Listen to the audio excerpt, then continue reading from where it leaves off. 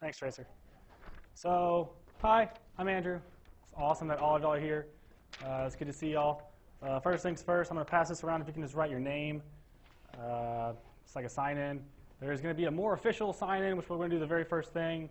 You're going to have to like get on your laptops or something and type your name in. It's new, so I'm not quite sure how to do it, but it's going to work out really well. Uh, it's for all for y'all's benefit. But welcome to Parker. Welcome to Try One. Are we excited yet? Yeah. Yes. Cool. Are we overwhelmed yet? Do we know like what to print off, what not to print off? Have we figured all that stuff out yet? Have we wasted a lot of printing dollars? Killed some trees? Good. Does anybody still have questions about what they would like to print off, or does anybody want some guidance on that? What are your recommendations personally? All right, so us tutors, we actually all got together yesterday, two days ago, and uh, we talked about it. So for DAA, what we recommend is printing, uh, having, using his PowerPoints as your main resource. Um, so actually using the PowerPoints, whether that be on your iPad or printing them off. Um, that's just because he has that on his screen, and he just goes slide by slide, and that way you're not trying to write down everything that's on the slide. He goes pretty quickly. He's going slow now, but he's going to go a lot faster, especially when we get into muscles. So uh, using the PowerPoints is our best recommendation. You don't need to print them all off at one time. If you want to just print it uh, unit by unit, so starting off with bones and then muscles and what have you, uh, that way you don't have to carry around this whole big stack and you can just keep, keep that together a little bit easier. So that's what we do for DAA. For biochem, the best thing that I can tell y'all to do is to find a copy of this book. On Dr. Sarkar's syllabus is the way to order it. I think it's through Linus Books. It's going to take at least a week to ship, maybe a week and a half. Um, but uh, that's the best thing to do. Online, on Dr. Sarkar's uh, class page, it has all of his notes on all of his PowerPoints, but a lot of those PowerPoints don't have all of the pictures on them. Uh, and I'm sure some people have told you that, or you found that out halfway through all your printing, and you're like, mm, these are a lot of blank pages.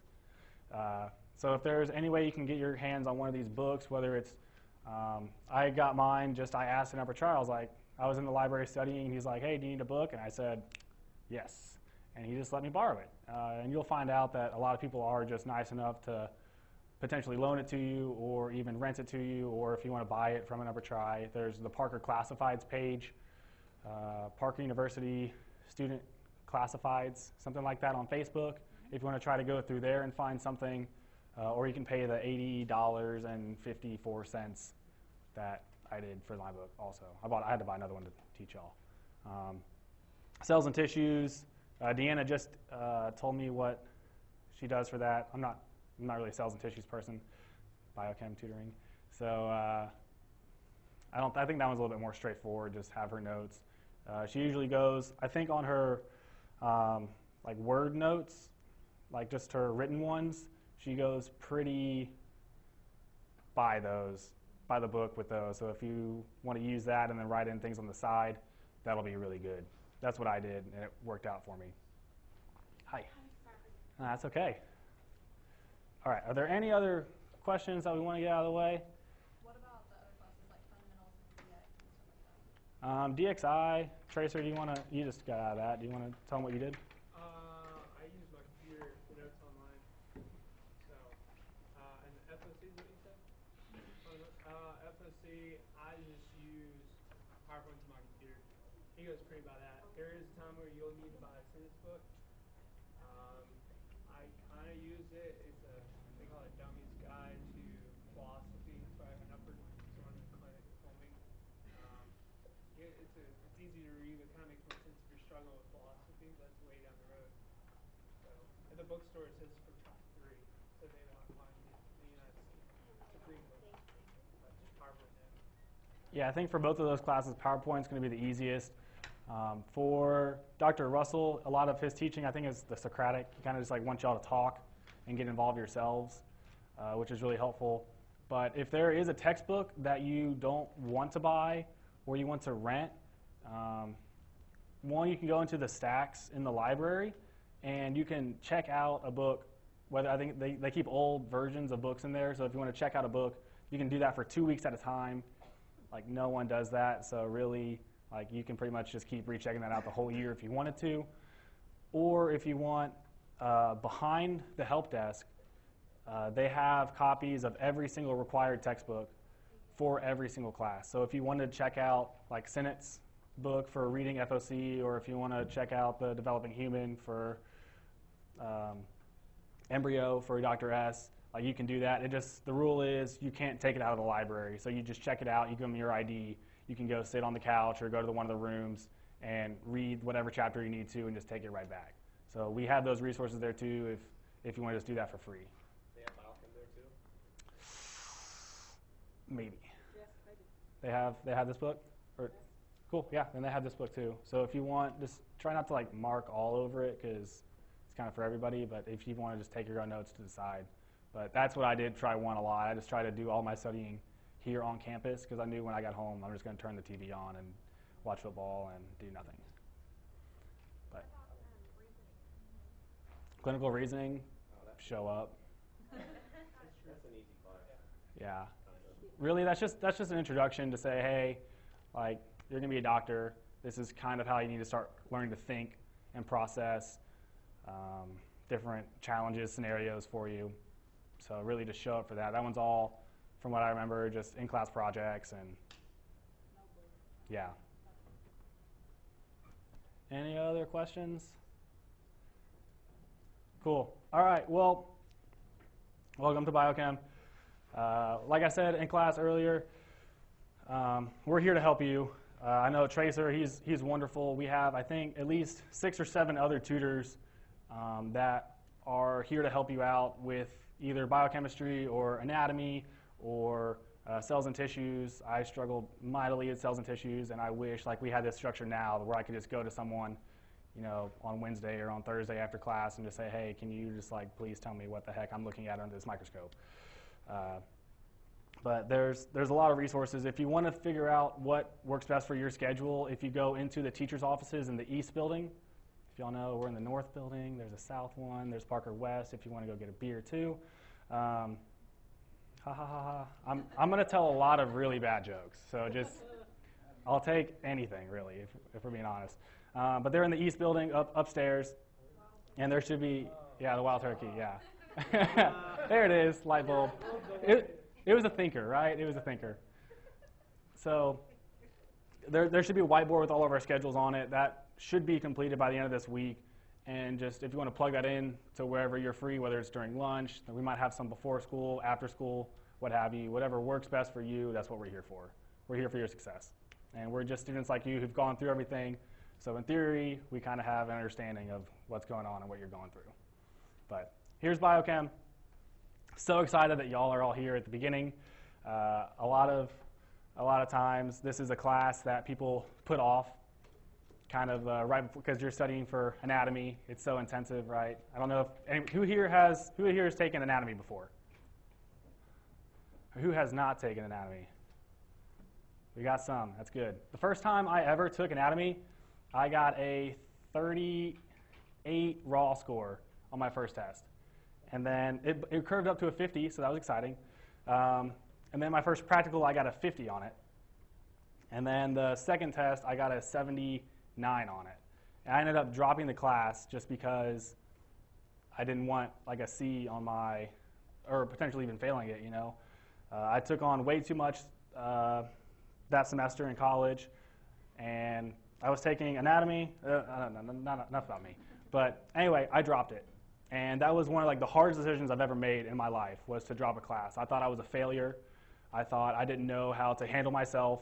And uh, I even struggled, like, am I even going to continue doing chiropractic? I was taking organic chemistry at the time, and I was not doing well at that either. So I was like, do I even want to be a chiropractor? I can just go to PT school, and I'll just do PT, and like that'll be okay. I like called crying to my grandma. I was like, Grandma, what am I going to do with my life? Um, but seriously, I did. And uh, but she said just stick it out, and even if you have to drop it, that's fine. But it's all about just doing what's best for you and focusing your attention. So really, that was just a wake-up call for me to say, hey, what am I doing with my life? Like, I want to be a doctor, so I can't be going out, staying up late, going to clubs, going. I didn't. I'm not really a clubber, so I didn't really do that. But staying in, drinking, watching SVU. Like, can't be doing that all the time. Uh, so it's just getting your mind right. And that's what I want to tell y'all here first day. If you can, just try to eliminate as much of the distractions as possible. Like, stay on campus, stay and study here at the library so you can focus and get what you need to be done here now first. Um, try one's the hardest just because there is so much that's new and it's not undergrad anymore. For those of you that are coming straight out of undergrad, um, it's it's easy to fall back into the undergrad mentality of, all right, I'll study for a little bit and then I'll go do whatever I'm doing, or I won't study and I'll just show up and take a test and everything will be perfect and just it's going to be just the same. It's not. Um, this is doctor school. I'm not trying to be like mean or be rude, but just to let you know, like only less than 1% of the population in the United States is able to put the words doctor in front of their name. So we have to outwork 99% of the other people in this country to earn it. So that's just how, that's what's great that y'all are here is that y'all are starting out early to do that. So thank you for that. I appreciate that. But anyway, biochemistry. Who here has taken chemistry, regular chemistry, recently? Um, who here has taken biology recently? Who here has taken actually taken biochemistry? Some of y'all, good. Who here has not taken any biochemistry, or who hasn't taken a biochemistry class ever? Yeah, I didn't either. I'd never taken biochemistry here until I got here. So you can do it. You can, you can learn it. It'll be fine. Um, it's not that bad. It's not that bad. It's actually, I'm going to try to make it fun, as fun as possible. Dr. Sarkar is wonderful. Yes, he has an accent. Yes, he, like, I'm just going to say it up front, you know, like, he's not from America, okay? but, um, yes. But don't let that be an excuse. He is a great person. He is a great teacher. He knows this, he wrote this book, so he knows it. In, he knows this information inside and out. Um, it's on you to just sit there and pay attention. Yeah, might you might need to use a little bit more attention, a little bit more focus because of it, but don't let an accent be an excuse because we all can understand him. We all can have conversations with him. So don't let that be a barrier to your learning. Um, just want to say that up front. So if you come up to me, we had we had a what is it like a sensitivity training or a diversity training last trimester, and that was one of the things that I constantly heard, and I even use the excuse myself is, oh, I don't have, I have a teacher from a different country, so that makes it difficult for me. Yeah, it makes it difficult, but that's not an excuse for you to put in effort to do well. So if y'all come to me with that excuse, I'm not gonna cut it. So just letting you know now. All right, biochemistry, it's fun, I promise you. And it tells you everything you need to know is in the words. I'm going to be constantly trying to explain and show to you that the just like a medical definition, right? For those of you who've had a medical terminology class, like all the Greek word actually translates to something that's um, very like easy to understand. When you're taking DAA, like you'll learn that clivus means slope and what have you like that. So when you're looking at that bone, you're like, oh, like, there's a big slope thing. So duh. Um, biochemistry, chemistry is the exact same. All the chemists are doing is saying, uh, here's this thing and it looks like this or it describes this and therefore it's named this. And the earlier you can kind of pick up on that and try to understand the, the language when you're reading a test, you're not going to be confused by this big word. You're, you're not going to see phosphoglycerate, whatever, and you're like, oh god, like, well, oh my god, I don't, I don't know what that is. But you just break it down, like phospho, it's a phosphate, glycerate. It's just a glycerate, not a big deal. So, whatever. So, chapter one. Who here does not have this book yet? I'm going to guess pretty much everybody. For those of you that do, good job. Proud of y'all, actually. Good job. I did not have the book day one. Don't be like me. I guess kind of too late for that. Um, uh, so if you can, just try to try to ask around. If you can find the book, it's just going to make your life the easiest. Bite the bullet, pay the money if you need to. Review of basic chemistry. How far did, has, did Dr. Sarkar get today? Slide five. Page six. We got to covalent bonding. Wonderful. Okay. Um, I like starting week one because we don't feel like we're already behind already. If we can just try to stay with him, that's my goal. So we're either going to do one or two chapters every week, Um, plan for until 7. Hopefully, we can get done before that, just because it's nice to not listen to my voice for this long.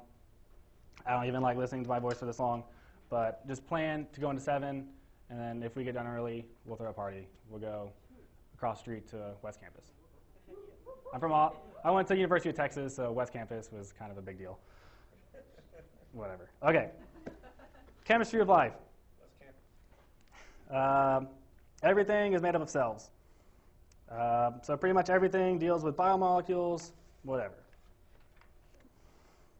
And I'm going to rely heavily on y'all's feedback. Um, when I went to tutoring sessions, I was kind of the person who just wanted the person to talk to me. I was very passive with my learning.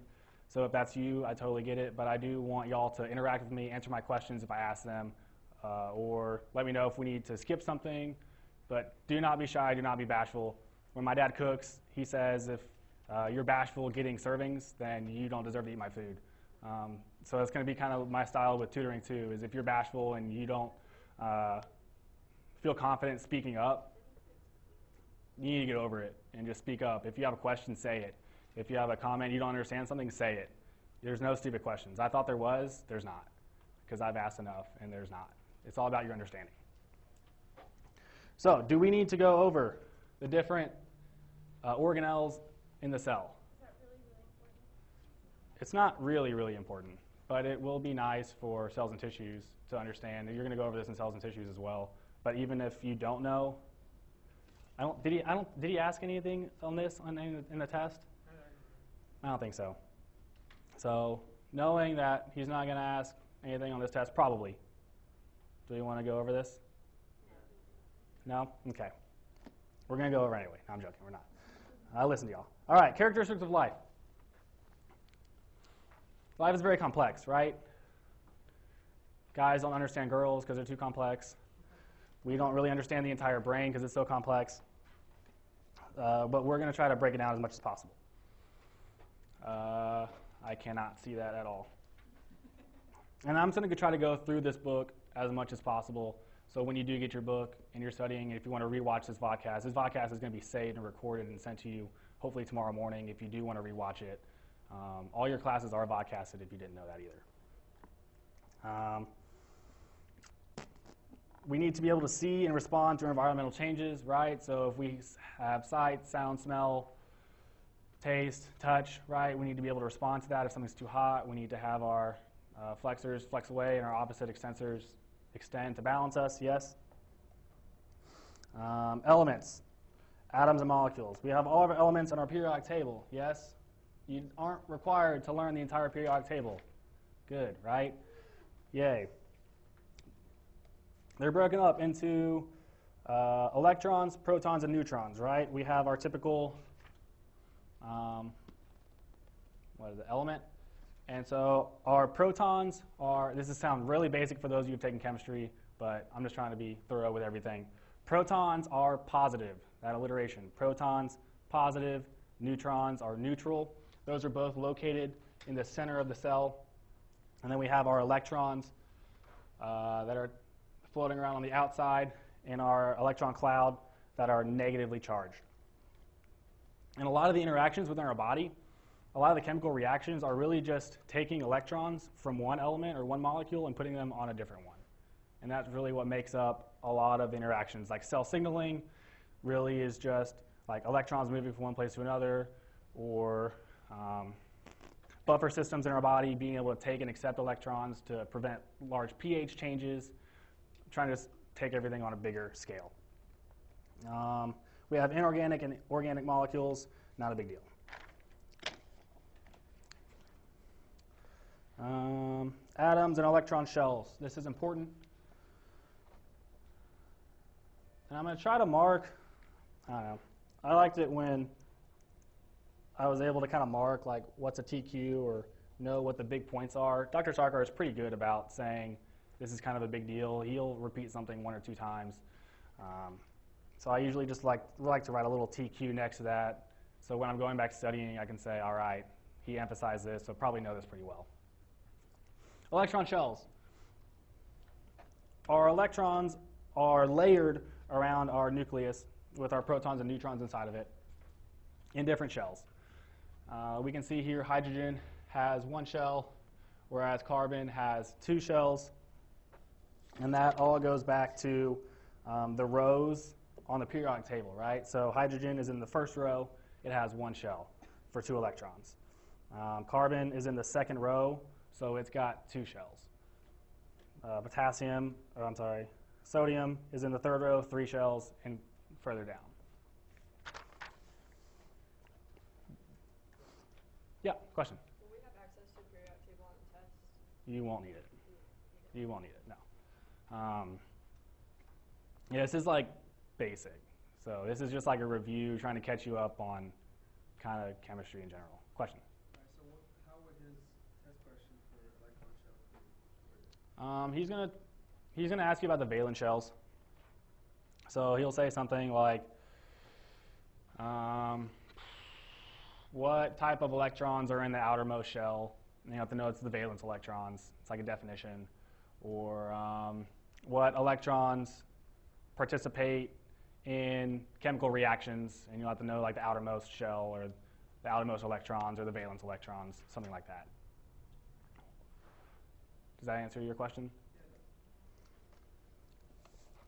It, it, I mean, I, I would, it would be very helpful if you, as you do with TQ or anything, if you actually give us like an example of a, how you would word that test question. I feel like it's always very helpful.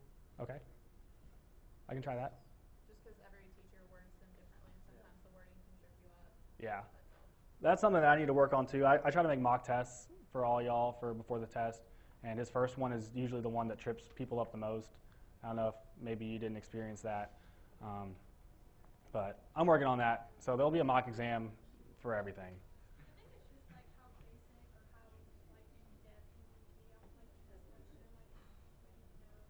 how hmm Yeah, so I'm gonna try like the week before the test. My goal is to try to meet with Dr. Sarkar and hopefully look at the test or even talk to him about like which things did he emphasize the most. Because I know this a lot of this is from my memory of what his test is and talking with other people what his test was, and uh, so I'm gonna go see if I can refresh that memory and, or see if he's changed anything. But he's usually pretty consistent with everything that he does. Um, so electron shells. Uh, depends on the atomic number, kind of what we talked about in the different rows. The first shell can only contain uh, two electrons.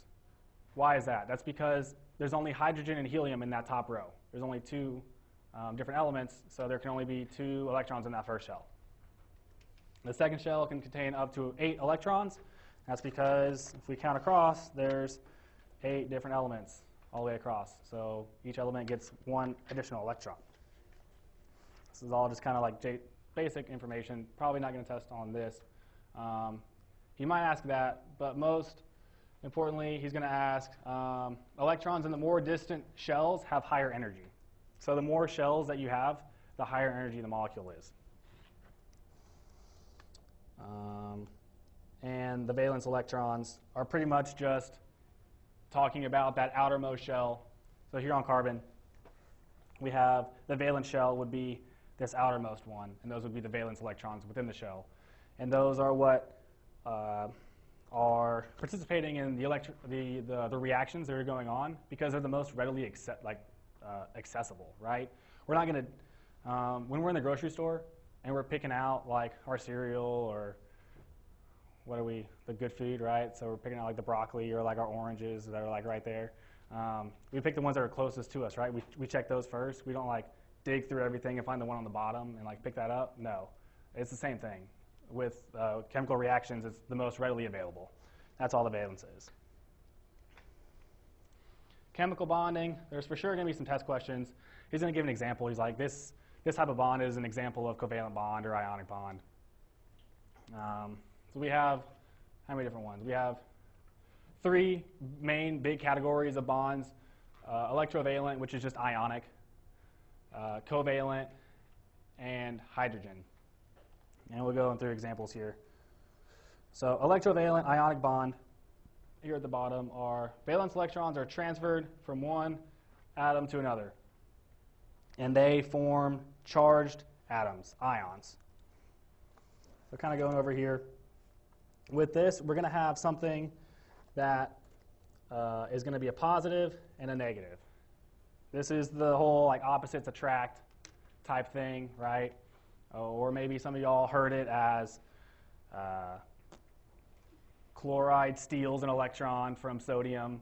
Like I like to think it's more they're kind of sharing. He's like, oh, like you can have it. I'm a nice person. You're not stealing it.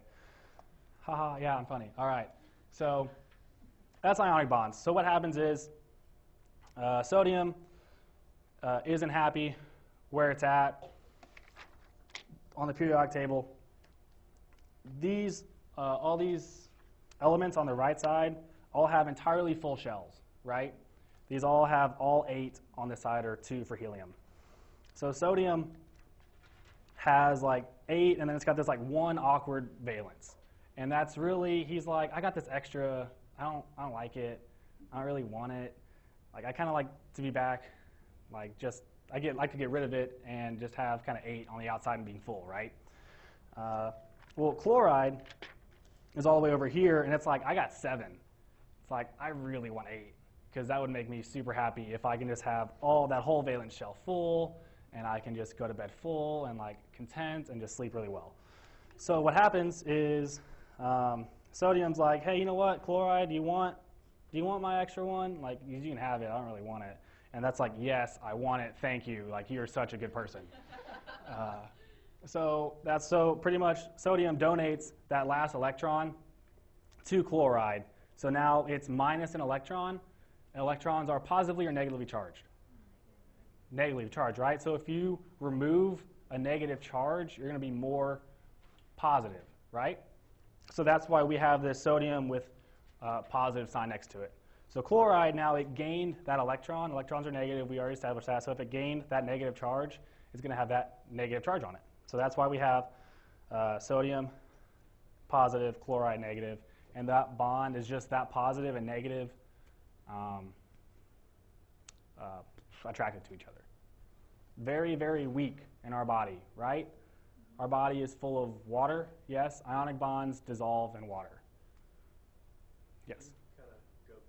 Kind of go back and, Mhm. as if you're talking to a kindergar- kindergartner and explain, uh, why, um, the sodium, why it's positive and negative and, and what's the, you know, how does it, how do the electrons contribute to that? hmm So For, for each of those, for, Mm, let's use let's use these pictures. All right. So it has it all right here. Um, I'm gonna be fancy. Ooh, okay. All right. So here's sodium here, right? And it's got this shell is full. That shell that's it has two, right? The first shell is two. Second shell is eight. Yeah. There's eight in this second shell, and this valence shell, the outside one, only has one electron in it. One is not full, correct? One is not eight. So it's like, hey, I want to be I want this last shell to be full. Would it be easier for me to add seven more electrons here? Or would it be easier for me to dump that one? It'd be easier for me to dump that one, right? Um, so chlorine, chlorine over here, we have full innermost with two, full middle one with eight, this last one, seven. So it's like, would it be easier for me to dump seven, or would it be easier for me to gain one? It'd be easier to gain one, right? So sodium's like, hey, I got one. Chloride's like, hey, I need one. So pretty much this electron just goes over here. And when the sodium loses that electron, is losing that negative, right? So it's becoming more positive. Um, it's like when you um, eliminate something bad from your life, like say you stop drinking soda. It's like you're removing that negative, so your life is more positive overall. so. Don't drink soda. the chlorine is like I, I I'm getting the you know, that the very far right column, column of the periodic table is Mhm. eight electrons. Mhm. And the one next to it's got seven where chlorine is. Mhm. And that the that eight and that seven is what is in the outer shell. Yes. Okay.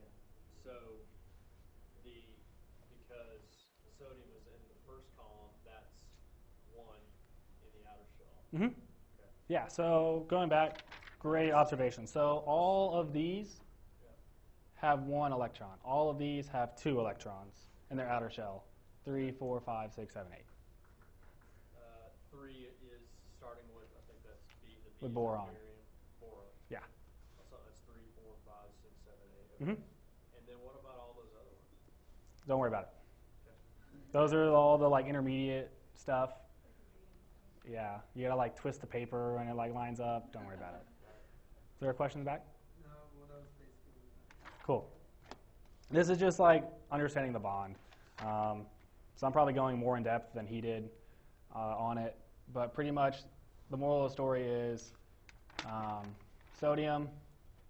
It wants it's happiest when it doesn't have that extra valence. It can just drop down to this full valence shell, so it gets rid of it by getting rid of the electron. It becomes positive. Chlorine gets it, so it's negative, and the opposites attract. A positive charge is attracted to a negative charge. In chemistry, that's what happens. Um, so if two positives are going to repel each other, two negatives are going to repel each other, but a positive and a negative are going to attract each other, coming together, making the bond. Yeah. Do we need to know what the bulk elements are and what the elements are? No. Not right now. Not right now. Good. Any questions on ionic bonds? Any other questions? Cool. If you have them, ask them. If not, we're just going to keep going. Covalent bonds. So this is when atoms share valence electrons, right? Valence electrons are the ones on the innermost or outermost part of the shell? Outer, right? Good. There are two different types of covalent bonding, and this trips up some people sometimes. That was really helpful, wasn't it? Um, so we have nonpolar covalent bonds, and we have polar covalent bonds.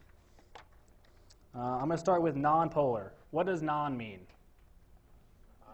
Not, right? Yeah, it means not polar. Uh, so let's. What polar means is that. Hmm, polar means that uh, they're. Hmm, let's start with polar. I lied. We're gonna we're gonna start with polar. Yeah. So polar. Polar covalent bonds they share them unequally. Okay. So. Uh, water. We're going to use water, right? H2O. Yes. We have two hydrogens, one oxygen. How this works, if you've taken a chemistry class, you've probably seen this before, but if you haven't taken a chemistry class, that's fine too. Um, our two hydrogens are positive, right? Well, our hydrogens are positive, and then our oxygens are typically negative.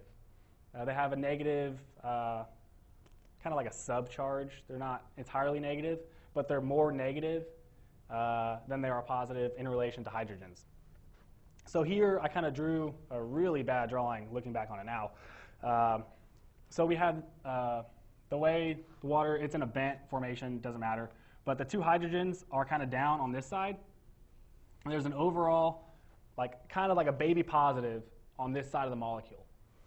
And uh, this oxygen is a lot bigger than the hydrogens, yes. Uh, so there's a, a, net negative on this side of the molecule. So there's really an unequal distribution of charges. So there's more kind of positive on this side, more negative on that side. That's what polarity is. All it's saying is that it's an unequal distribution of charge. And the charge is coming from our electrons. Oxygen is way bigger than hydrogen is. So the electrons are going to be more around the circling around oxygen. So they're going to be more likely to be found on this side as opposed to hydrogens where there's only like that one electron that it has um, than they are over here. So there's going to be more negative over here. And if we don't have electrons, we're more positive, right? So that's where this kind of partial positive charge comes into play. That's polarity. So let, before, just real quick before you have questions, now we have nonpolar. So not polar, right? Super difficult. Um, so that means there is an equal distribution of charge. And where we're going to see this is from things such as uh, H2 or O2. So those two are the same molecules. So it's just written out as like, like a, a H bonded to an H or an O bonded to an O. And those are going to be equally shared because it's the same molecule, right? You can't, um, uh, if it's the same thing, it's, it's got to share it equally. If they were different, like if they were different elements, like in oxygen and hydrogen, you can see how they can share it unequally. So anytime you see like an H2 or an O2 or an F2, what have you, you know that's non-polar because it's going to be shared. Those electrons are going to be shared equally in the bond. So polar, all polar is, it's unequally shared. Electrons, yes, exactly. Good. Any other questions? So non-polar is always going to be like H2O2. Like it's never going to be different things. It's always going to be the same. Um, pretty, pretty much, pretty much. So, um, I mean, you could have something like uh, CH4, where it's so you have like a C, and you have something like this, a carbon. Sorry, I'm just throwing letters at you. So that's like a carbon surrounded by four hydrogens, and then that would also be nonpolar. Um, but he didn't give you that kind of he didn't give you that kind of example. So I think on the test, if he just gives you like C2, H2, O2, he won't give you C2 because that's not really a, a thing. Um, H2 or O2 or F2, anything with a little subscript 2 on it, non-polar covalent is what I'm trying to get at.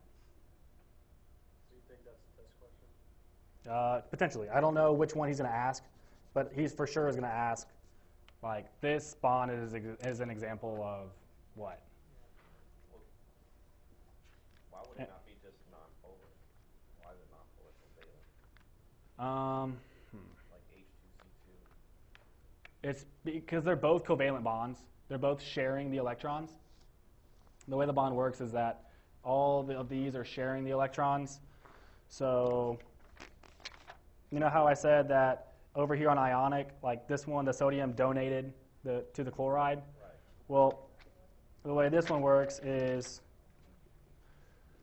uh, this has, mm, where's H2O? Oxygen. Where is that? One, two, three, four, five, six, right? So there's six in its outer shell, and it needs to get to eight, right? So it needs two more. Hydrogens each have one. So six plus one plus one equals eight. They all share it together, is how that works. So it's not like stealing, it's sharing. So they're all sharing the bond. So whether it's nonpolar, whether they're sharing them equally or unequally, it's still a covalent bond. That one, that's what's making them covalent, Yes, sharing. the sharing. Good. All right. Um, coordinate covalent is pretty much when uh, one atom provides all the electrons. So for here, we have an amino group. We'll get to that. Um, it's got all eight electrons here, and we have this hydrogen, that, hydrogen that's positive. If it's positive, has it gained or lost an electron? Lost, right? That's getting you thinking that way. It's lost an electron, um, but it can still come in here and make this bond with this lone pair. Not going to matter. Um, pretty much, just know the definition. Coordinate covalent provides all the electrons when making the bond. I'll try to emphasize the things that I feel like you need need to be emphasized. Um, I'll answer any questions, but I'll try to emphasize the things that need to be really emphasized. Can you, can you um, just real quick, Mm-hmm. um, kind of walk through all the, the little dots and X's Mm-hmm. and all that, explain what's going on there? So every dot is an electron. Pretty much, we're always trying to add up to eight in a molecule. So each dot is one, and that's just they're kind of in pairs. Each every bond is two electrons. So there's usually four bonds around like a nitrogen or a carbon or a C. So each dot is an electron. Uh, this is pretty much just saying hydrogen with a positive charge, so it's lost its electron. So whenever you see the positive charge, you've lost an electron. If you see a negative charge around brackets, it's gained an electron. What's the X? That's just plus. No, the, It's adding the two together. Yeah, it's this plus that equals that. well, the little bitty X's, what are those? It, it's a different. You can even, look on your book, you that- probably can't see it on the. The X's. Oh. I think that's just saying it's part of a bond. It's not important. Don't worry about it. He, you're not gonna. It's just pre- pretend it's a circle. It's an it's an electron that's participating in a So bond. that X is supposed to be a dot. I guess so. Do you question? Yeah.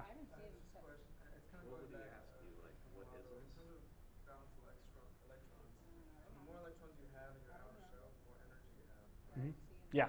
Okay, so you can have more than eight. All right, so it's the, the what about the most shells? More energy. Okay, so basically like the the more electrons enter. Never mind. Okay, I get it. How many Good. can you have? Um, Like, is there a max? count down the number of rows. One, two, three, four. So each row is a. That's the max. Yeah. So coordinate covalent bond is the one molecule or the one atom is just donating all the electrons. So earlier, how um, in our water example, oxygen donated six because it has six and it's covalent and it's um, oh my god, what's the word I'm looking for? And it's a valence shell. It has six in its outside one. Hydrogen had one and one. So instead of like each of them donating a certain amount of electrons to make the bond, this just donates all of them to make the bond. So none come from this and all of them come from that. Does that answer the question? Good. Any other questions? Cool. I know it's like a lot of basic stuff. Sorry if I'm not like hitting it. I'm trying. but uh, all right. Next we have hydrogen bonds. Hydrogen bonds are tricky. Need to know them though, especially when we get to like protein, what have you. So um, hydrogen bonds are when hydrogens, right? Hydrogen, first thing on the periodic table, typically has one electron. Uh, when hydrogens form polar bonds, are electrons shared equally or unequally in polar bonds? Unequally, right? Because non-polar, there's no polar, um, no polar charge. So when hydrogens atoms form polar bonds, so unequal sharing with another com- entirely completely atom, and it takes on a slight positive charge. Um, so pretty much that gives it a slight po- that slight positive charge allows it to be attracted to another slight negative charge, right? Because opposites attract, uh, and that's what hydrogen bonds are. And that's why water is so awesome, for like lack of a better word. Um, you know, like we can go, it's so liquid and fluid, and it sticks with each other when it's in a glass of water, right? Um, that's because of all those hydrogen bonds that are just keeping it, all those molecules sticking together. And there is not a picture of that. Yeah, there is, over here. Good. All right. The hardest thing to understand with hydrogen bonds is that it's between two different atoms. So pretend we're going to just further emphasize that because I'm sick of not explaining it very well to where people aren't getting that very well. So we have, uh, uh, I lied. Wrong line. So we, uh, uh, we'll leave it. All right. So we have. No, I lied. No, we're gonna, we're gonna do it. We're gonna do it. Bingo, right there. All right. So we have one water here, and we have one water here, and it's this one, like that. Uh, is this water polar or nonpolar covalent? Polar covalent, right? So we have these hydrogens over here, but um, that are partially positive because most of the electrons are surrounding this big oxygen that's got six electrons kind of surrounding around it. So more of the electrons are over here, so a little bit more negative. So these are a little bit more positive, right? So we know that this oxygen is slightly negative, slightly. Overall, the whole molecule is neutral. Um, but, so the same thing, same principle applies here, right? Partial negative around the oxygen here, and this hydrogen has a partial positive, right? So this hydrogen on this atom is going to make a hydrogen bond with this oxygen on this completely separate atom because it's negative and opposites attract. These bonds are super weak by itself. It's really just an attraction. Um, it's really like, uh, hmm, I don't know. It's like there's that one person in class who has like this really outgoing personality, and you're kind of like, oh, I kind of like want to be around them, just because they're kind of nice, but I don't really have to be around them, so I'm gonna go hang out with my friends too. It's kind of like that. But if you combine, like if you look at water, for example, like a glass of water, right? Everything's kind of sticks together. Um, if you keep adding them, a bunch of them together, they can make a big difference and can be very strong. But individually, it's very weak because it's just kind of like an attraction. It's like, oh, I kind of like want to be over here. Like, I'll get kind of close to you. But if you go that way, I'll go, I'll go this way too. It's not a big deal. Is that helpful? Do I need to say that again? Yes? No? Be vocal. Any answer? I found it very helpful. Okay. Um, so like water, we kind of just talked about it. It has polarity. It has hydrogen bonding. That's what makes it awesome. Uh, water is a solvent, uh, so it can dissolve polar co- compounds. A solvent is really just, uh, I hate a chemistry lab. So for those of you who are chemistry majors, like, good for y'all. Um, couldn't do it. Um, it's a solvent, so pretty much it's what you pour something into is a solvent. So like when, uh, like you're making an alcoholic beverage, right? Oh, I'm sorry, we don't do that. Um, but so like that's that'd be like, uh, hmm. like when you're doing like a, yeah. So yeah, so like when you're when you have like a like the Mio little drop things, whatever, like your glass of water would be the solvent, or would be the solution. No, yeah, it would be the solvent. Yeah, and then um, like what do you like the little squirt things would be your uh, what's that word I'm looking for? Solute, right? So your solvent would be the water. Your little Mio would be your solute. So that's all it is. Is the solvent is just what is dissolving something. Water is very good at that because it's polar. Okay, so you said it's because it's the dissolving something, so it's basically separating off, off from each other. Kind of, like basically the water surrounds them all with the molecules. So what happens is because water has that polarity, it has those partial negatives and partial positives, it's able to kind of like break apart the ionic bonds within things. Uh, so the positives are attracted to the negatives and vice versa, which allows salt to dissolve in water. Disperse. Mm-hmm. Good. Um, this is kind of important. I don't know if he'll ask you this, but he might. Um, hydrophilic. Who, who can tell me what hydrophilic means? Just say it. Yeah, like water. Philic is like, likes water, um, or attracted to water. Are soluble in water. So like dissolves like. Dislike does not dissolve like. I don't know the other part of that, but like dissolves like. So something that's polar can be dissolved in water. Something that's nonpolar cannot. So example would be like water and oil, right? I think so. Whenever we see that on the side of the road, that the oil just sits on top of it because that's a non-polar substance. Water can't dissolve it. So that's why it stays separate and together as opposed to being dissolved and mixed together. So hydro, hydrophobic, phobic is like you have a phobia of something, you have a fear of something, um, are insoluble in water. Time are we at? Okay, good. All right, um, this next part, osmosis, Osmosis Jones. Anybody remember that movie? Wow, that's. Yeah, that's old, right? Was that Will Smith? Was that who, who was the voice of that? Chris Rock. Okay. I know for sure it wasn't Adam Sandler. I, um, all right. Osmosis. Uh, the spontaneous movement of the solvent water across a semi-permeable membrane into an area of higher solute concentration. Uh, what does that mean? All osmosis is trying to do is saying, I just want to be, um, I just want everything to be equal. So say you have like a membrane. I don't know, it's kind of hard to describe like at a really basic level, but uh, water can pretty much pass pass through um, membranes really easily, or semi-permeable membranes really easily. And we have different concentrations of whether it be ions or proteins or what have you on either side of the membrane. So if, uh, say like on this, okay, we'll use y'all as an example.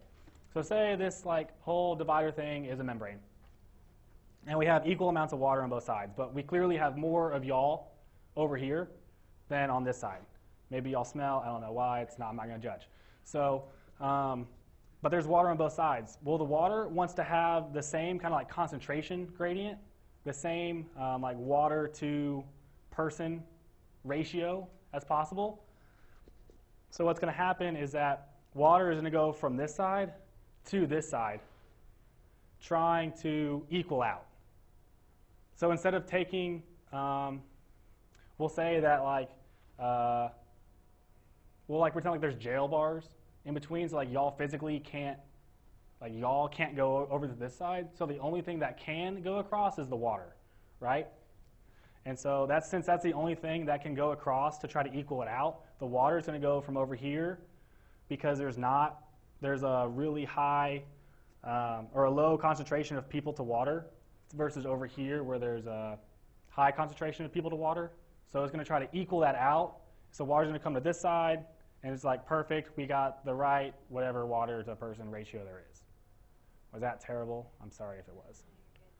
So that's all osmosis is. It's just the movement of water trying to balance out the concentrations on both sides of the membrane. Um, feel free to use that example with all your friends and at parties. Um, you're going to get a lot of those from me this trimester, I guarantee it.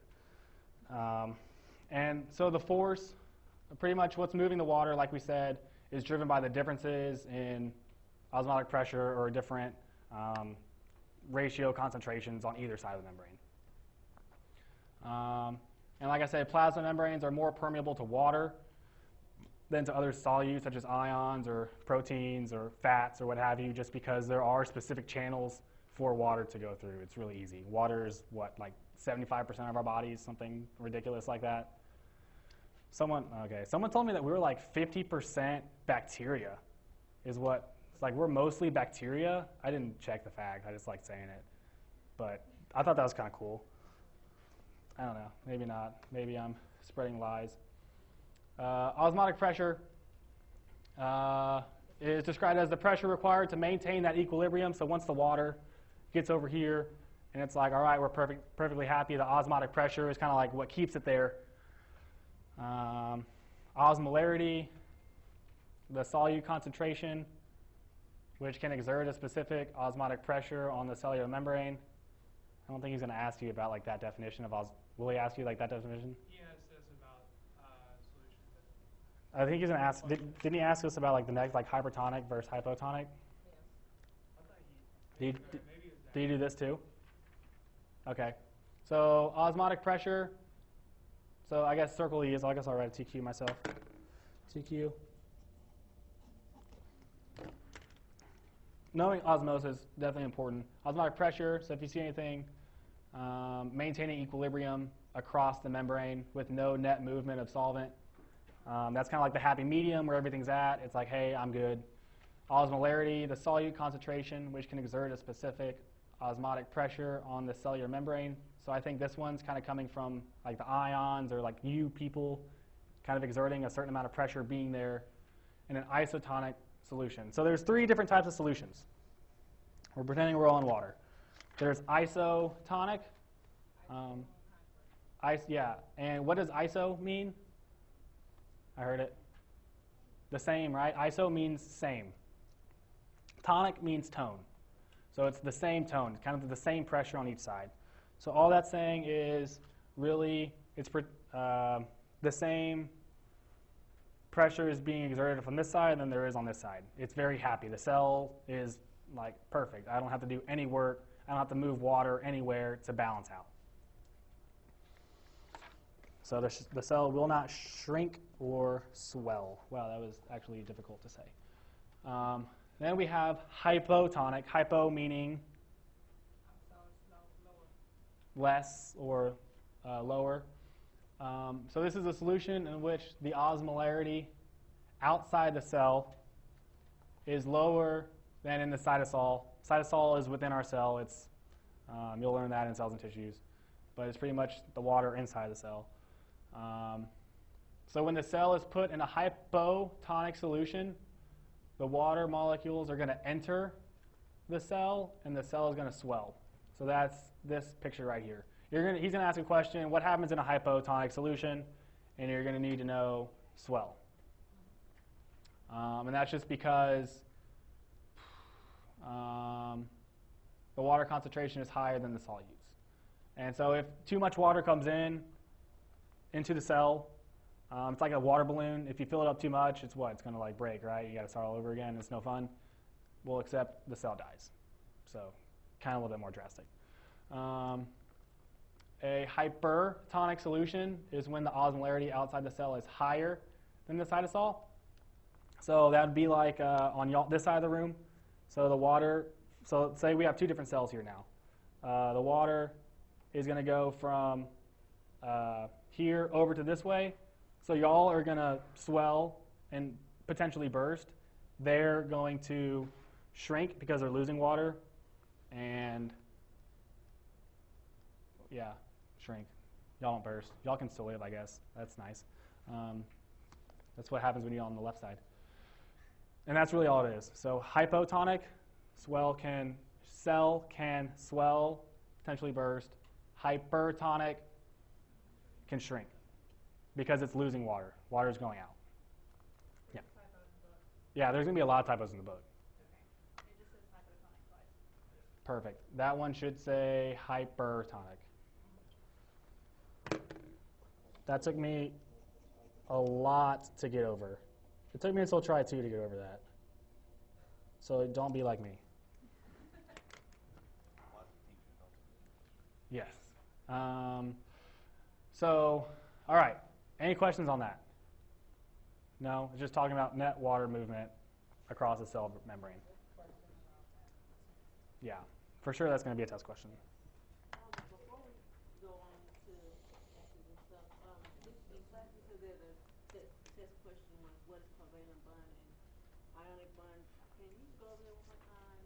I mean, well, I, I understand covalent bond, but what's covalent? So the ionic bond was when uh, one electron uh, or electrons are taken physically from one atom to a different atom, uh, leaving a negative charge uh, on the. Okay, so let me start over. Um, one atom is going to donate electrons to another one. The one that donates the electrons is going to be more positive because it loses the electron that's negative. The other one's going to become negative because it's gaining the electron, right? And then that positive and negative charge attract, and that's the bond. The bond between that positive and negative is what is the bond. And that example would be like salt, sodium chloride, or anything that's, you can make pretty much any, anything out of here like sodium, argon, lithium, or I'm sorry, not sodium, but like lithium chloride, sodium fluoride, So is that what Lithium bromide. test, like what is an example of it? Like, then we have or? Mhm. Okay. hmm You'd probably say like sodium chloride is an example of what, and you'd say ionic bond. Any other questions? Let's take five minutes. Let's take five minutes.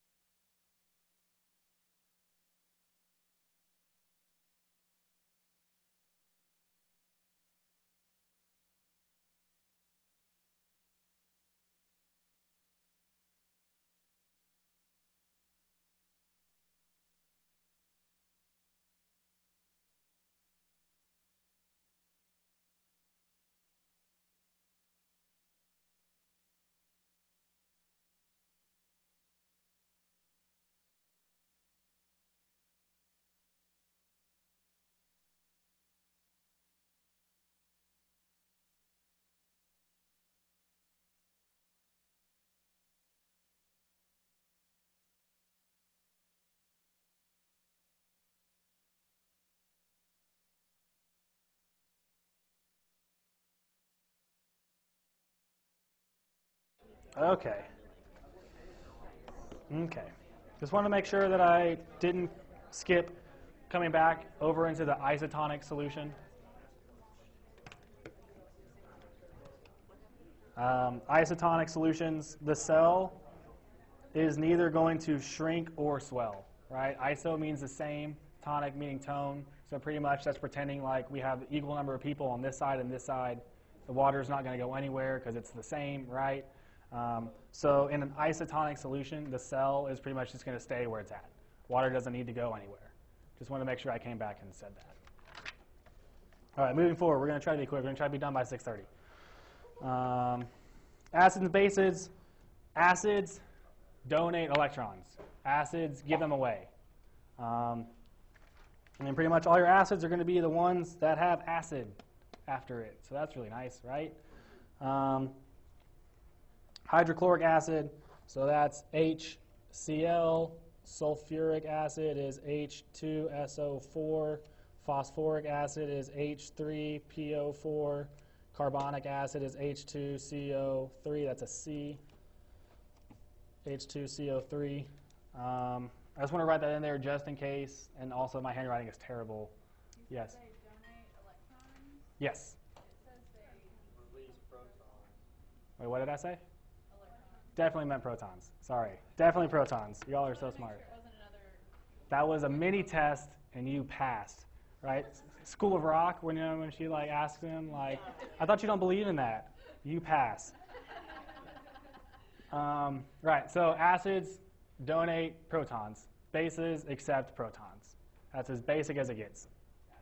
And so I just wrote these here just in case he has it written out like that on the test. He might do that. So if you see HCl, H2SO4, H3, that's a P, PO4, and H2CO3.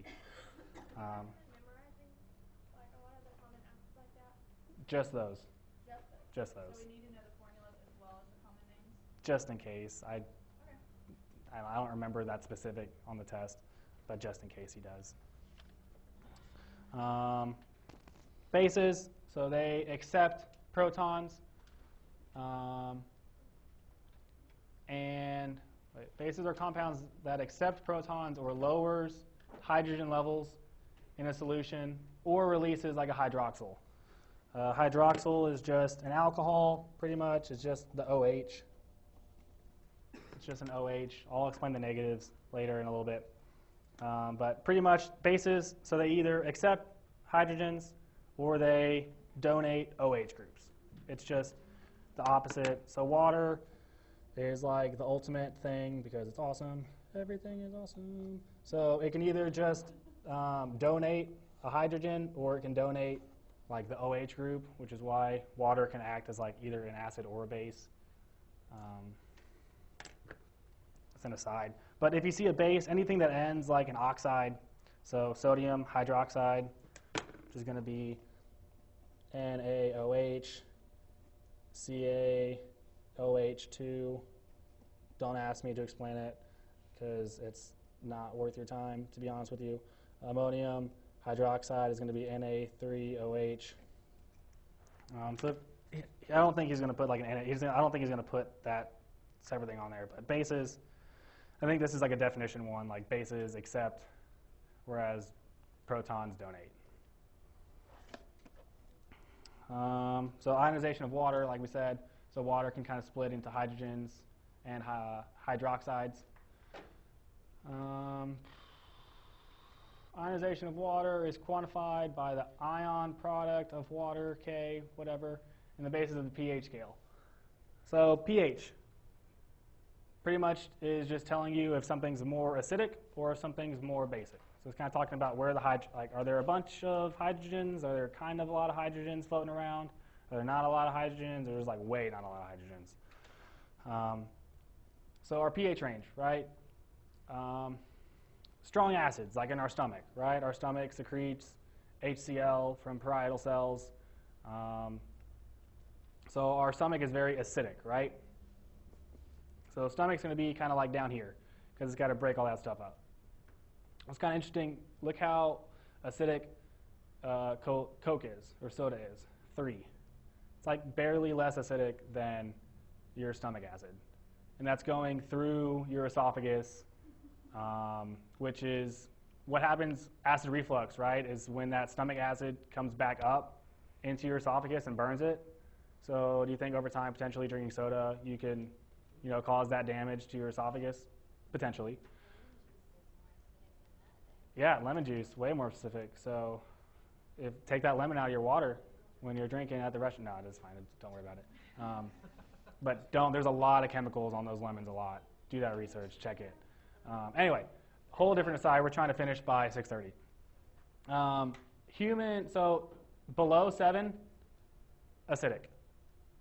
Above seven, basic. So 7.01 to 14, basic. So, uh, 6.99 down to zero, acidic. When you say basic, you mean base? Yes, basic as in base. Um, so that's just right here. And blood, need to know this one. Normal pH of blood in our human is slightly basic. So for sure, test question. So 7.35 to 7.45, need to know that exact range. He's not going to ask you about like any of these other things, like like he's not going to ask you like ammonia, household ammonia is acidic or basic. No, just the blood, and just know that bases are up higher. Uh, the lower the number, the more acidic it is. Buffers.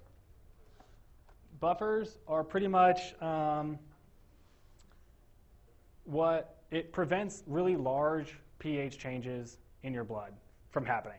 So we want our blood to stay pH about 3 point, or 7.35 to 7.45, right? That's kind of like the homeostasis, right? We've kind of heard that word thrown out before, maybe, um, like the equilibrium of our body. So there's ways that in our body to prevent like huge increases, uh, like saying like getting super acidic or what have you. Um, if you've ever heard of, um, like when, uh, oh my god, I can't think of the words right now.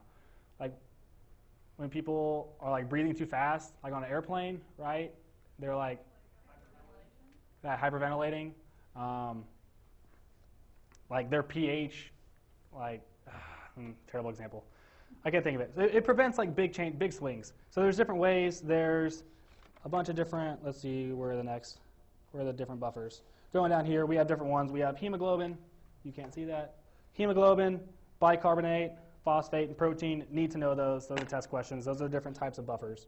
Pretty much, these are just ways of saying, hey, um, we don't want big changes because if we get big changes in pH, bad things are going to happen. Proteins are going to denature. We'll get to that. Um, stuff's just not going to work and potentially could lead to like really bad things for our body. So we want to try to prevent big pH changes because we're happy at 7.35, 7.45. We're very happy there. We don't want to really deviate from there. Buffers prevent big changes uh, in pH, um, even if a strong acid or a strong base is added. And we need to know what it's made up of. This is for sure a test question. Yeah? What, what is a buffer?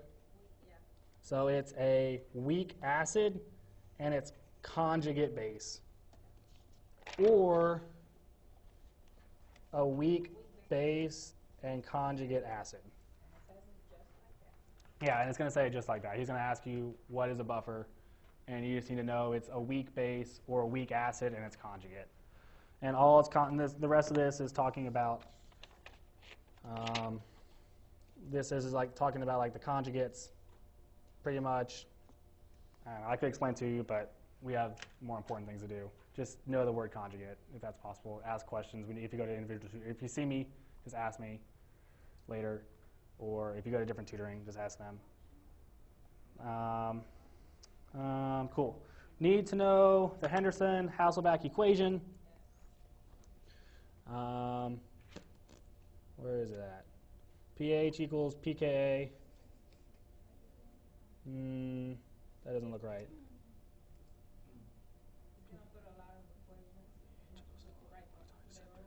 Yeah.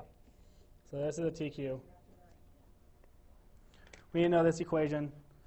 Henderson-Hasselbalch equation. just learn it. It's not worth your time to actually understand what it is, to be honest with you. I didn't say that. Um, yeah, you just gotta you just gotta pick it out.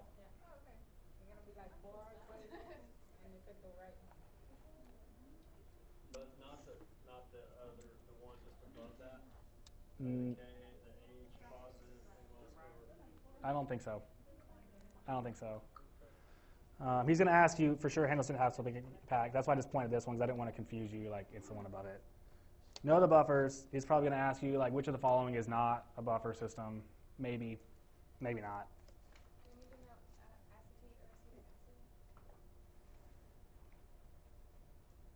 In what context? No. He's not going to ask you to like identify a molecule or anything like that. This is all just like general review, like what these things are, just because it, I don't know, like it matters in some, but it's really not going to matter in the long run. That's not my box. I'm sorry. Yeah.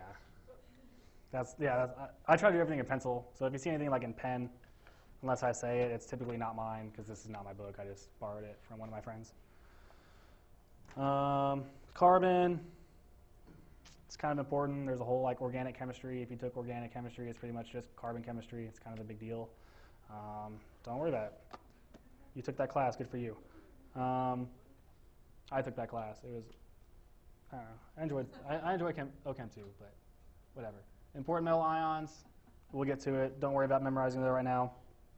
Carbon. All right. This is kind of important. He usually has at least two or three questions, I think, on this next part. Is that about right? On all the different functional groups and what have you. Um, this is just going to be making flashcards like, and just drilling them if you've never done it before. Um, or if or Quizlet. I don't know if you're more computery. If you like the Quizlet better, it's a free. If you don't know what Quizlet is, it's just like online flashcards. Perfect. So instead of making them all yourself, they're already made. Douglas M. Wright. I'll write it. Douglas. I think it's one S. M. Wright. Actually, really nice guy. Daniel Murray. Daniel Murray. Yeah, he's, pro- he's probably got some. I know like Alberto Doria. He's in my class. He made a bunch of them too. Uh, but Sam Wright has more yeah, Douglas probably has the most. So if, if you just want to look on Quizlet, he's probably got a lot of the classes. That's what he did for law school. Anyway, functional groups. These are things that are found uh, on different molecules, and it pretty much um, our body is very specific. We have a lot, like the stomach. Uh, it it needs to be able to have a signal come in and say, "Hey, release stomach acid to digest this food, break it down." Um, then it needs to go uh, through the what the pyloric, sphincter, and then go into the duodenum, and then something in the duodenum's got to say, "Hey, like it's here now, so we need to digest it further," and it's got to go to like the next part and what have you. So there's very specific signaling and communication that goes on with different parts of our body, right? Our brain's going to do something different than our muscles, than our gallbladder, what have you. And these functional groups are kind of the languages that say, hey, or the, the things that say, hey, I'm different uh, than this thing because I have this functional group. And so um, by having this, it's going to lead to this. It makes a way bigger difference in like organic chemistry when you're trying to turn, like actually do equations and map stuff out. Um, we're not going to be like doing those kinds of equations in this class, so get excited that you're not have to do that, but it's also kind of sad because it was fun. Um, but anyway, we need to know the different names of them because we just need to know the different names of them. Uh, the first ones are methyl, ethyl, and phenyl. Methyl is talking about um, there's one carbon with three hydrogens around it. So methyl, ethyl is one carbon, ethyl is two carbons. So methyl, I like to think of like methyl like mono. Mono is one, right? So just one carbon is a methyl. And it's really hard for me to like explain this on just like this like really individual level. They usually spend like a few days on this in organic chemistry trying to like teach you these things. Um, so I'm sorry if this sounds like super bad for my part. Good movie. Um, so ethyl is two carbons. Phenyl is just a ring of six carbons. Phenyl group. Um, coincidentally, phenols, for those of you who took chemistry, chemistry lab, those are like our aromatics, right? The ring structures, they smell very good, like our aromas, like flowers are pretty and smell nice. Yeah. Um, just the versatility of the carbon bonding, like those are just different ways that the carbon bonds to things. Yep, so carbon can bond to hydrogens, it can make double bonds to nitrogens, it can bond to oxygens, can bond to other carbons, can double bond to oxygens, can double bond to other carbons. It's very versatile, that's why there's whole organic chemistry classes pretty much just talking about how carbon bonds to stuff. Okay, and what kind of questions do you ask on that? Not.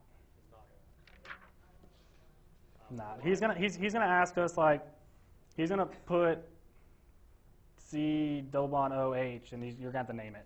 So why did we need to do flashcards for that then? So we're gonna do flashcards for these, For the, functional group? for the functional groups. Yeah. You're gonna need it for. So starting for the final, but no, you won't really need it except for the final in this test, potentially. I don't think. Um, but yeah, so pretty much anything that's bolded, like if you want to make a flashcard, if you need it, just put the name and then the structure on the back. There's going to be at least two questions on the test that are like, what's this functional group? And you have to name it. Charges, not for these specifically, no. All right, carbonyl. Um, it's going to be more of an aldehyde uh, versus a this other carbonyl, which is a ketone. I don't know why it's ketonel, but that's okay. Um, our aldehyde is just C double bond O and an H at the end, whereas this carbonyl group is just this um, C double bonded to an O, a carbon double bonded to an oxygen. And these R's, for those of you who don't know what R's are, is pretty much just a bunch more carbons that don't matter.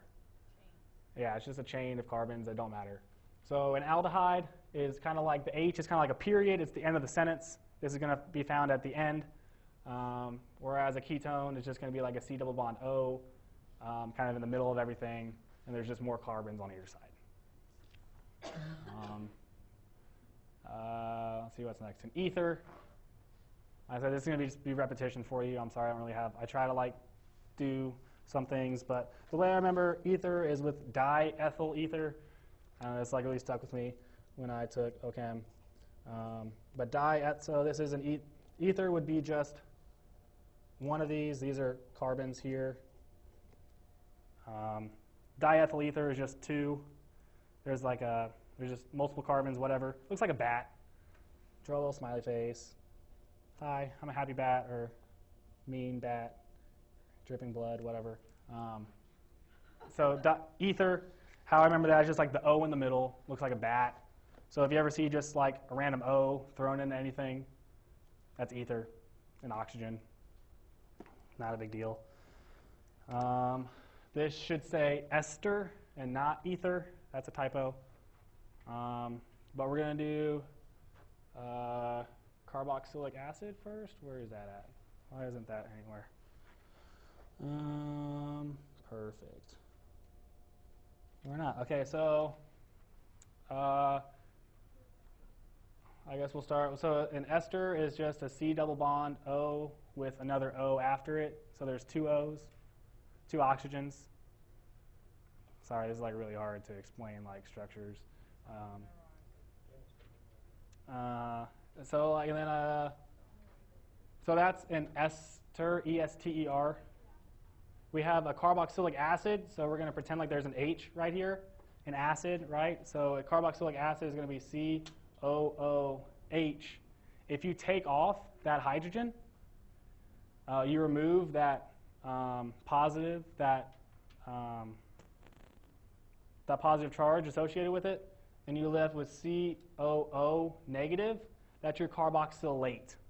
Anytime you see ATE, you know that it's just OO.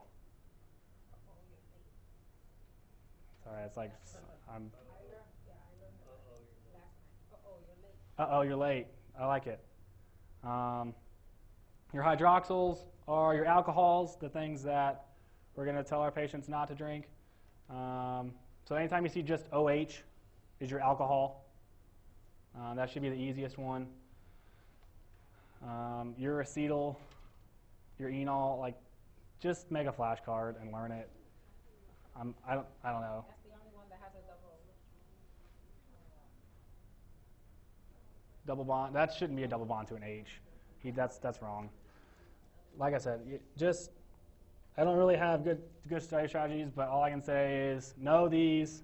I'll test y'all on them next week if you decide to study them. And if not, that can be your study study time too. But I know that he emphasizes these on the exam. You need to know them. Um, Did you just change that, the C to the H to a single? yeah, it should just be a single. Don't ask why he's not. It's not worth your time. And then the, and then the C to the O is, is a double? Yeah. It's just not as much time. The O is double there. And then your enol, what have you. The green? Uh, the green and these blue and the pink ones too. Are they gonna be written just like that on the test with the R's? Are they gonna be in the middle of other stuff? In other words, are they gonna be structurally or? Or are we gonna have to like identify them out of a long sequence? You might have to identify one out of a long sequence, but he'll he'll point to it.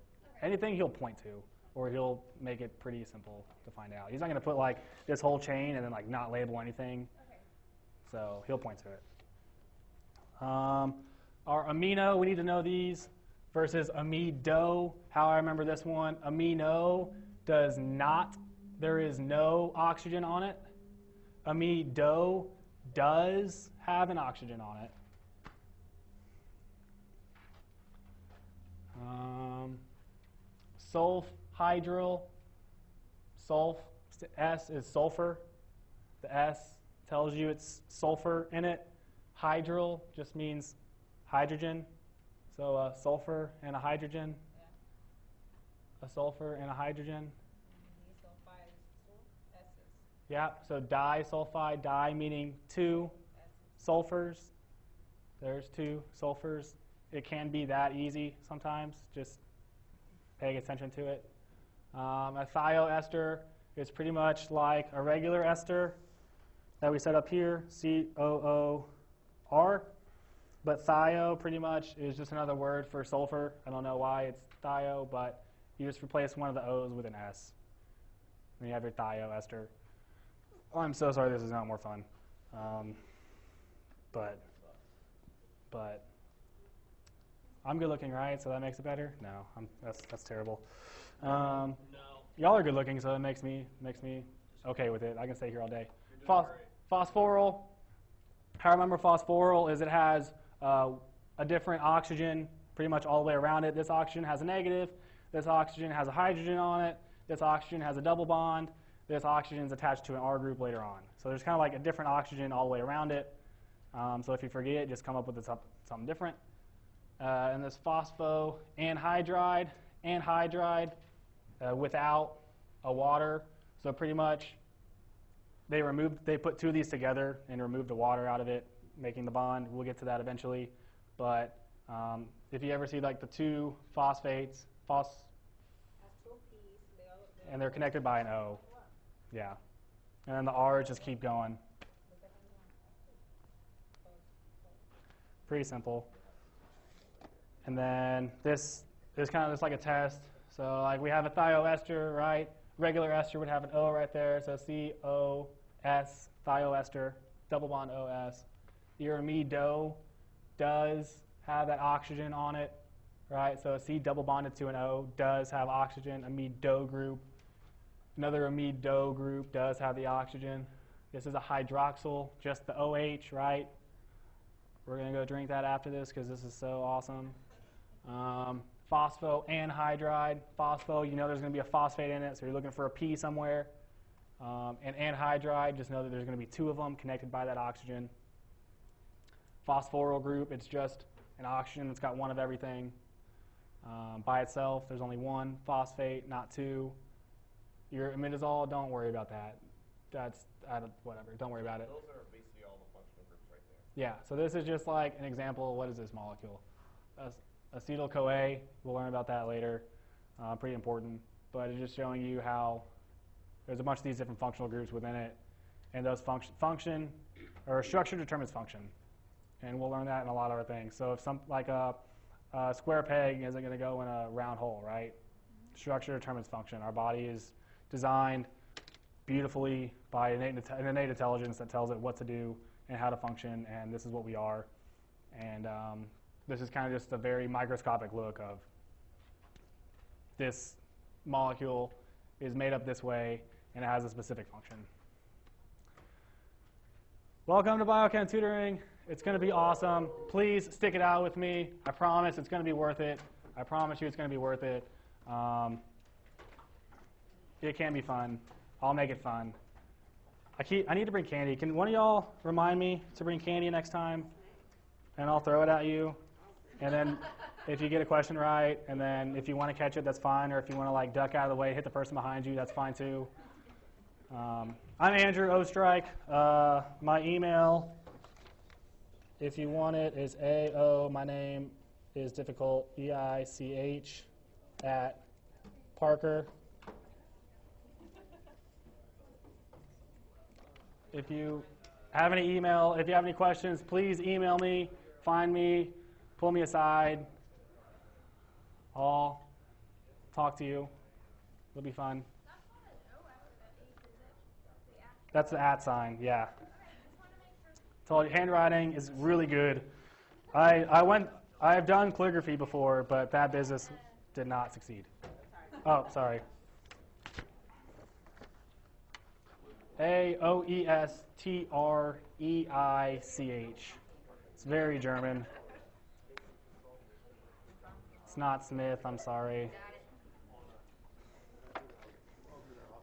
Thank you all for being here. Y'all are wonderful. He's, yeah, if y'all see me, introduce yourself. Only Wednesdays. I, I, large group here is going to be Wednesdays. Thank you.